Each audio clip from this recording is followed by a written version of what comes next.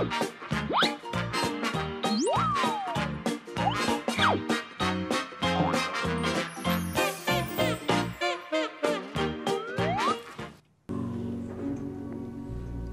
ở đây hả? Dạ. Ừ, Mà sao nãy không chịu vô phòng em vậy? Thì đó, tại ở đây thoáng mát nên kêu ra đây ngồi cho nó mát thoáng.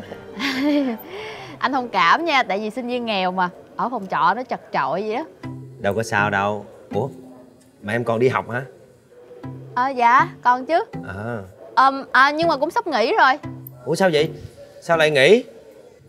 Tại vì à, má của em bệnh Ba của em thì mất sớm. Cho nên à, em phải mượn tiền em gửi về cho má em. Mà bây giờ em thiếu nợ nhiều quá Không biết cách nào hết thì em phải nghỉ học. Chắc về quê làm ruộng để trả nợ quá. Không sao, em đừng có lo Em yên tâm đi, em mà về quê gì Anh sẽ kêu ba anh Mỗi tuần chở anh xuống nhà em thăm em một lần. Thầy ơi Chắc lúc trước thầy nhỏ ông ăn trứng ngỗng nhiều lắm hay sao mà giờ ông ngu dữ vậy trời? Hả? à, à, Dạ dạ. Nói gì? Đâu, hồi đó giờ anh chỉ thích ăn trứng gà thôi Chứ anh không có ăn trứng ngỗng. À, à dạ Thì à, em biết anh không thích ăn trứng ngỗng.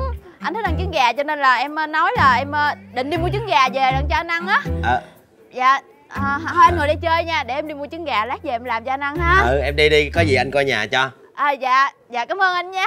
Dạ, Ngồi đây nha. Ok. Luôn á? Khờ gì mà khờ dữ vậy trời. Lấy bây giờ nó quịch tẹt ra. Hết cách luôn á. Nói sao mới chịu xì tiền ra đây? Không lẽ bây giờ Mình tìm một tên giang hồ Giả bộ lề siết nợ mình? Gì tự nhiên không nhắc giang hồ à Ai vậy? Giang hồ. Ờ Mà thiệt không? Nói thiệt có thưa công an không? Không không không không. Thiệt. Không không tại tại tại nó nghe nè. À, Tại nó nghe nè tại tôi đang cần nhờ giang hồ một chút chuyện á. Anh anh anh anh là giang hồ thì anh có thể giúp tôi được không? Giúp có đi ở tù không? Dĩ nhiên là không rồi. Vấn đề á là bây giờ á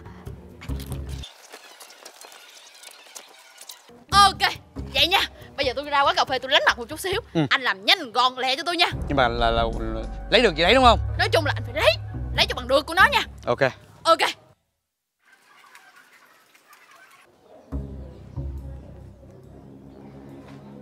Anh ơi, Dạ. Anh kiếm ai vậy? Tôi kiếm Thảo. À, xin lỗi anh là... Tôi là giang hồ. Giang Hồ? Dạ, chào anh Giang Hồ Em cũng Giang, nhưng mà Giang Hoàng Dạ, chào anh Hồ Anh đến đây ờ, có chuyện gì không? Tôi tới đòi nợ Thảo thiếu nợ tôi Thảo, Thảo thiếu nợ anh hả? Ừ. Ủa, mà Thảo thiếu anh gì vậy? Ba em nói á là thiếu nợ là phải trả Thiếu cái gì trả cái đó mà Thảo thiếu gì anh? Thiếu gì trả đó hả Dạ đúng rồi, thiếu cái gì mình phải trả cái đó chứ anh Chờ tí Dạ,